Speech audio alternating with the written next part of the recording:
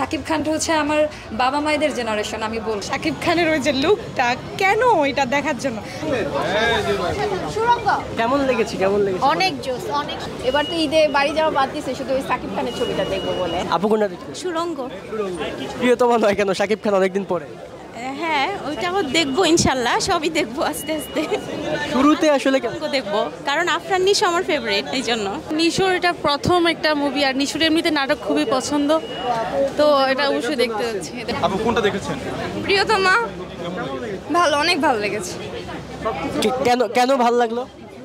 অভিনয় ভালো লেগেছে সব কিছুই ভালো লেগেছে। সিনেমা। এই নিশো ভাইয়াকেও দেখে আসছি আমি তো বিশ্বাসই করতে পারতেছি না। উনি আমাদের সামনে বসে হলের সামনে বসে হচ্ছে আমাদের সাথে মুভিটা এনজয় করছে। অ্যান্ড লাস্ট মোমেন্টে উনি যখন স্টেজে উঠছে তখন তো আমরা সবাই দেখে ওনাকে একদম অবাক হয়ে গেছি। কি ইচ্ছা ছিল? সুরঙ্গ দেখব আর রাহেল রাফির সিনেমা একটা আলাদা রকম ভালো লাগা আছে। সেই। নিশু ভাইয়া এমনিতেই দুর্দান্ত অভিনয় করে এটা আরও অনেক ভালো ছিল। সুরঙ্গ দেখেছেন? প্রিয়তমা দেখার ইচ্ছে আছে নেক্সট টাইম দেখব। প্রিয়তমা দেখতে এসেছি আই হোপ কালকে পরশু আরও অন্যগুলা দেখব। জোস লাগছে আর আপনার নিশ্চয় তো জোস জানেনি এটা স্কিপ কন্টেন্ট সব কিছু দারুণ ছিল টপনস ছিল ভালো লাগছে ভাই এতটুকু। কেমন লেগেছে সুরঙ্গ মুভি বস ছিল একেবারে। কোন জিনিসটা আসলে ভালো লেগেছে?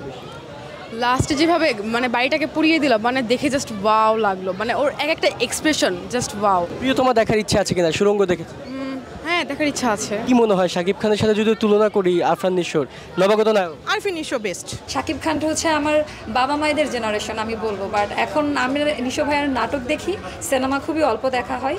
বিশেষ করে নিশো ভাইয়ার জন্যই সিনেমা দেখতে আসা। ইচ্ছে করতেছে হল ভেঙে ভেতরে ঢুকে যেতে। একটা টিকিট যেভাবে কালেকশন করতে যাবে তারপর যখন টিকিটটা নিচ্ছিলাম প্রাইস জিজ্ঞেস করলাম টাকা কত সেটা পড়া হবে? ভাই দেন টিকিট আপনি যা চাইবেন আমি তাই দিব। নিশোকে আমরা চিনি তার অভিনয় দক্ষতা দিয়ে। এখানে উনি যে দক্ষ ওই দক্ষতাটাই তুলে ধরেছে। এখানে কোনো নিশোকে আপনি খুঁজে পাবেন না। ওনার ক্যারেক্টারটার মধ্যে উনি এতটা মিশে গিয়েছে এখানে জাস্ট আপনার ওই ক্যারেক্টারটাই মনে হবে যে আসলে ও মাসুদ ও নিশো না। আফরান নিশোর কাজ সবসময় ভালো লাগে ভালো হয়। সো মানে আমি সোফার খুশি যে ইনশাল্লাহ আশা করি ভালো কিছু হবে সামনে। আফটার নিশোর কাজগুলো একটু ইউনিক হয় যেমন পুনর্জন্ম ছিল একটু ভালো টাইপের যদি একটা নাটক।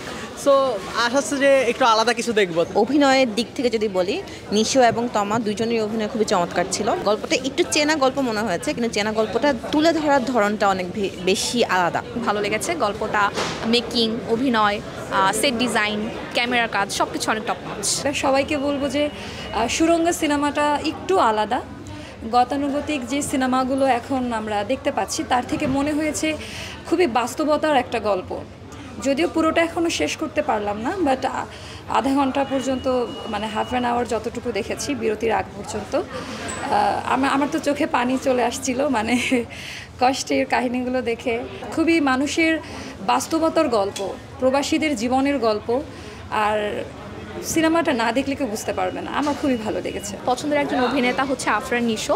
আর রায়হান রাফির যে মুভিগুলো দেখেছি আমি, পরাণ বা দামাল, আমার কাছে মনে হয়েছে ক্যামেরার কাজগুলো অনেক বেশি ইউনিক হয়। সেট ডিজাইন থেকে শুরু করে ক্যামেরার মুভিং কালার গ্রেডিং অনেক বেশি জোস হয় আর মানে গল্পটা অনেক ইউনিক হয়। আর কোনো জায়গায় অত বেশি ডিসঅ্যাপয়েন্টেড হওয়ার মতো সুযোগ নাই। তো আমার কাছে মনে হয়েছে এটা দেখলে চান্সটা কম ডিসঅ্যাপয়েন্টেড হওয়ার।